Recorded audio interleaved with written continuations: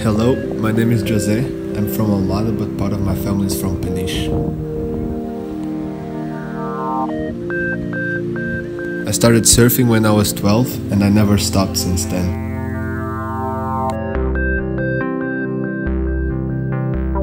I'm a surf instructor since 2012 and I'm really proud to be part of the Waterlost family.